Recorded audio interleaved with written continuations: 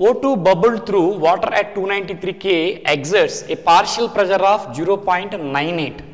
So let's see the solution for the third problem. In third problem, which, which points are given? See, partial pressure is given, that means uh, equilibrium pressure 0.98 bar. Next, uh, KH, Henry's law constant is given as 34 kilobar. Kilobar means 34 into 10 cube bar. So, mole fraction of solute we have to find out. But here finally see asked for the solubility. What is solubility? Solute weight in 100 grams of solvent. But here asked in grams per liter. So, first uh, let us find out the mole fraction of solute. So, for that what is the formula? From Henry's law formula we can write P is equal to Kh into X2. That means X2 is equal to P by Kh. What is pressure given? Pressure given is 0. Point, see here, uh, partial pressure given 0.98 by its Kh value. Kh value is 34 into 10 cube. This is a mole fraction of a solute. But a mole fraction of a solute means number of moles of a solute by number of moles of solute plus solvent. Solute plus solvent. That means see here number of moles mole fraction of solute is very small because 10 cube if goes to numerator it becomes 10 power minus 3. That's a very small value. So in, in comparison with uh, in comparison with the solvent we can ignore N2. Therefore here N2 by N1 is equal to we have the value 0.98 by 34 into 10 power minus 3. If we ignore N2 in the denominator then N2 by N1 equals to 0.98 into 10 power minus 3 by 34. What is N1? In 1 liter solvent we have to find out. For pure water density we take uh, 1. That's why 1 liter water means 1 kg water. That means 1000 grams water. So in 1000 grams water how to find out number of moles? So N2 is equal to that side uh, 0.98 into 10 power minus 3 by 34 into that side number of moles of solvent. But here uh, solvent weight uh, 1000 grams, solvent molecular weight 18. So 1000 by 18 that means 55.55. So if you calculate this one number of moles is equal to 1000 by 18. If you calculate this one you will get the mole fraction solubility 0.05. So this is the solution for the third question. See the solution for the fourth one. Solution for the fourth question.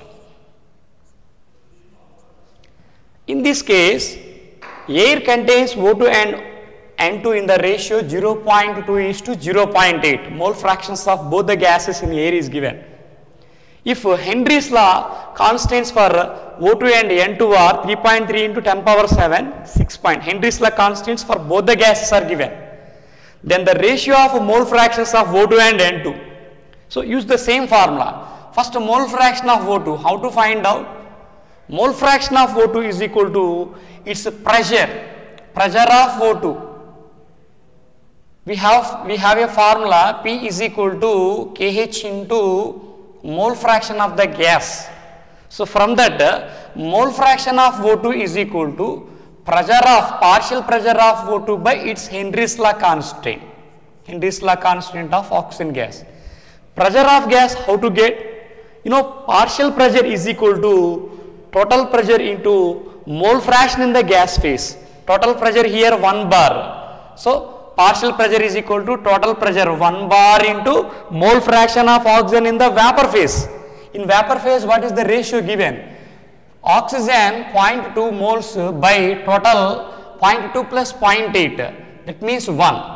So this is partial pressure of O2. How to get partial pressure of O2?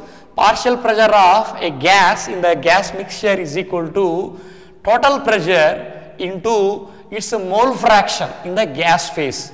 Mole fraction in the gas phase. Using that formula, I have uh, calculated this. So, what is the total pressure of both the gases? 1 bar. Next, what is the uh, total pressure? 1 bar. Mole fraction of O2 here 0.2 is to 0.8 na that's why sum is 1 so 0.2 by 1 divided by its kh value. What is kh value of this uh, oxygen? 3.3 into 10 power 7 so finally we get the value 0.2 by 3.3 into 10 power 7 this is a mole fraction of O2 in the liquid phase not in the gas phase. Gas phase only for 0.2 in the liquid phase uh, that value. Similarly, mole fraction of nitrogen how to find out? Partial pressure of nitrogen gas in the mixture by Henry's law constant of nitrogen. Use this formula. Here also similar. Partial pressure of gas how to find out? Total pressure of the mixture into its mole fraction in the gas phase. Total pressure of the mixture is already given 1 bar into its mole fraction in the gas phase in gas phase it is 0.8 moles.